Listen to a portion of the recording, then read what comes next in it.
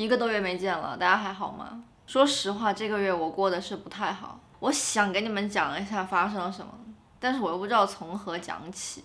先从十月五号开始说吧。那天我们突然收到了物业的通知，说装修要停工了，就工人都没有办法进小区。当时我就整个心在滴血，因为我们今年年中的时候已经因为疫情被迫停工了一次了，算上这次就已经是第二次了。因为马上要到年底了嘛，那完工的日期就是遥遥无期，然后我们的很多事情会因为这个装修被一直拖延、拖延、拖延。到了十月八号那天早上，小吴要出门，刚到楼下就被保安拦了，就现在整个单元楼都不让外出了。然后没多久呢，就收到了正式的通知，他说我们这栋楼从今天开始就被封锁了。原因呢，就是一名被确诊为阳性的新冠患者前几天去过我们隔壁的单元。当时吧，我就有点懵，因为虽然疫情已经两年了，可是我一直觉得这件事情好像离我很远。直到这一次，我才突然发现疫情可以离我很近。因为那名患者就是去过我隔壁单元嘛，很可能我跟他在大堂就擦肩而过了。然后我就赶紧回房间躲了起来。反正到中午吧，我就下楼拿外卖，就有一波人在开会，然后还有一些人在外面拉警戒线，整个是一个很紧张的战时状态的感觉。我也不敢多做停留，就拿了外卖就上楼了。然后到了晚上，外卖已经不让送到楼下了，就只能送到那个封锁线以外的路口。当时我觉得就是非常混乱。他们都说不知道送哪。不，你你问一下呢？因为他都不晓得放哪儿。因为外卖员呢不知道把外卖放在哪里，然后物业因为隔离了很多人，人手非常不够，没有人帮我们去取。然后在外面维护秩序的警察呢，他们也不能擅自离岗。总之就是突如其来的这件事情呢，让每一个人都很措手不及。到了晚上八点钟，我们收到了下楼做核酸的消息，那个路口非常快速的搭起了核酸检测点，每个人呢也非常有默契的隔着一米在排队。后来我看新闻说，那天晚上全成都三环内的居民要彻夜做核酸，而当时的气温我记得只有五六度的样子。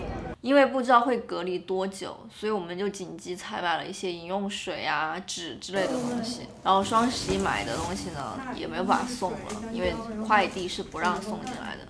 到十一月九号，我起床后的第一件事情就是查我的核酸结果，就还好是阴性。我们住的这个地方呢，它是没有厨具，也没有调料的，所以我们平时几乎不做饭。但那天晚上呢，我打开冰箱，就看到我之前朋友送我的火锅底料。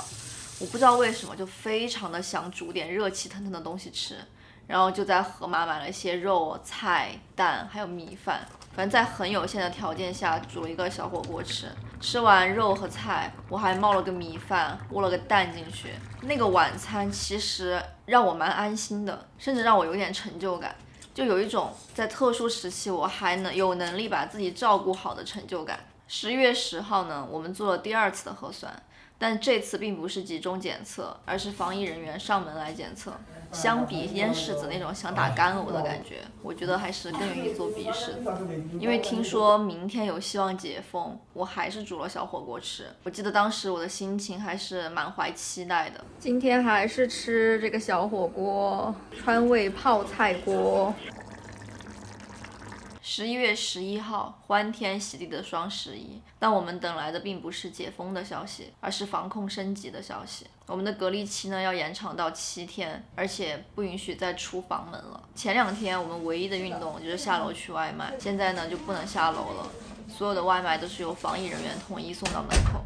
到了下午三点十四分，防疫人员上门来给我们做了第三次核酸。刚被隔离的时候，其实我状态还好，我甚至很乐观的计划说，哇。突然多出了好多时间，我可以做很多的事情，我可以运动、练练跳舞，然后我可以多拍几个视频。但实际上我没有做到。当我发现自己被限制在这个三十平的房间里的时候，我感到一阵又一阵的压抑，就整个人的状态是非常的低沉的，什么事都做不了。后来我发现看剧是个很不错的分散注意力的方法，所以在那几天我接连看完了《Ted Lasso》的第二季，《鱿鱼游戏》《赌博默示录》。欺诈游戏，连最近很火的《国王排名》，我也追到了最新季。真是多亏了这些剧，才让我内心没有那么煎熬。在那几天，我能明显的感觉到我的状态越来越差，因为我不知道这样的日子还有多久才能结束。到隔离中期的时候，我冰箱里的食材已经吃完了，我也没有心思再做饭了。但幸好我们是在成都隔离，所以外卖都还挺好吃的。那几天成都的天气呢，也是出奇的好，天天大太阳。我很想出门走走，但是我唯一能做的就是躺在床上，看到太阳的光影在我的房间里慢慢的移动。十月十三号醒来，我决定要振作，不能再这个样子了，所以我补给了一些生活的用品，买了一些速食。我们在家吃的挺开心的，而且我发现盒马居然有卖现成的食用冰块，非常非常感恩现代科技。晚上呢，我们俩在这个狭小的空间里面练了一个小时的基本功，汗流如注，真的是汗流如注。算一下，我们已经有两个月没有去上街舞课了。在不能出门的日子里，再普通的事情都让人变得想好好的珍惜。那天晚上的宵夜呢，我煮了我最爱吃的安城汤面，还握了一点小白菜和鸡蛋进去。我给自己认真的洗了澡，认真的涂了面霜和身体乳。我能感觉到我的状态在慢慢的好起来。十月十四日是隔离的最后一天，那天的核酸很不一样，会拿到两个机构去进行双检。如果整个单元楼的人两个结果都是阴性的话，那也许可能在第二天会解封。这应该是最后一次做核酸了，然后是双检都是阴性的话，应该就可以出门了。心里又有了一点希望，所以我们晚上点了很好吃的鳗鱼饭。整个晚上我就躺在床上，不停的刷手机，不停的刷手机，希望我的核酸结果早一点出来。二十三点五十六分，我的结果出来了，都是阴性。我们离解封只有一步之遥。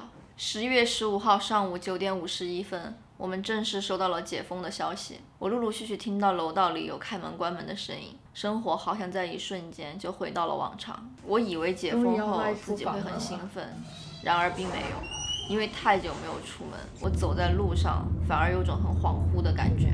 我看到了很多叶子变黄的银杏树，吃了好吃的豇豆面，可惜那天成都的雾霾遮盖了太阳。想到这里，我还是有点生气，因为隔离的时候天天大太阳，空气明媚，一到我解封就是重度雾霾。虽然我不想承认。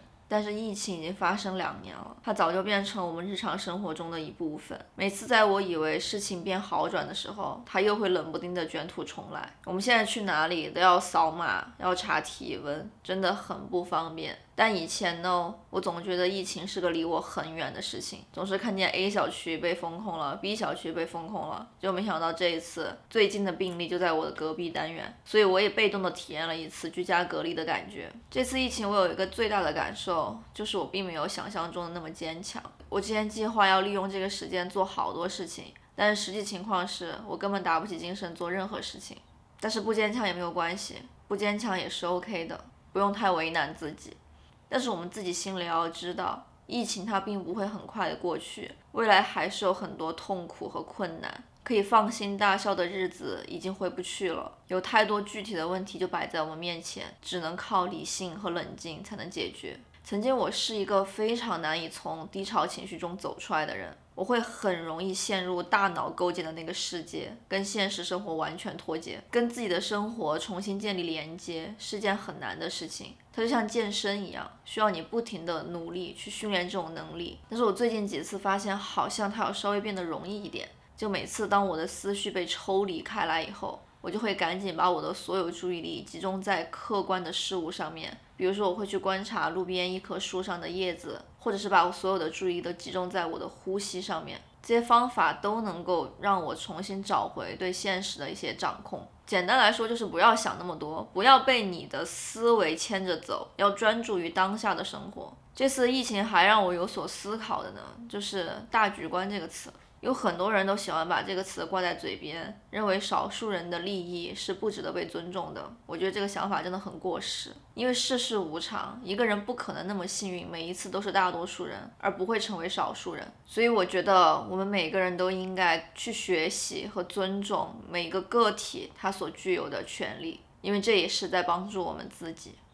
最后我想说的是，我们习以为常的日常生活其实也没有那么的坚不可摧。在一切的秩序后面，都是有其他人在默默的付出。比如说，在这次封控期间，大部分物业人员都被隔离了，就只有两三个人在维持着整个楼的正常运转。我们这些被隔离的人虽然很痛苦，但好歹我们是待在房间里面休息。那在房间之外呢，有无数的防疫人员在忙上忙下。比如说第一天晚上，我们下楼做集中的核酸检测，大家都觉得非常的冷，然后等待非常的漫长。可是我们做完就可以上楼回家了，而那些做核酸的检测人员，他们却要在那里待一个晚上，彻夜通宵。所以我觉得在特殊时期，大家都应该互相理解，多多珍视来自其他人给你的微小的善意。其实我一直都很犹豫要不要拍这个视频，因为我自己这段时间状态也不是特别好。尤其是那天我刷到一张图片，然后上面写了一句话，说我过得并不好，但是我会活着。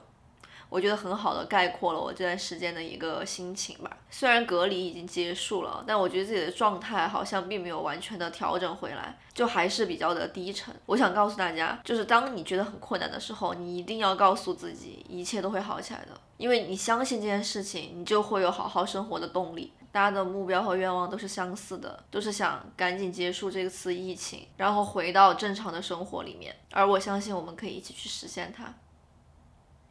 就这样吧，拜拜。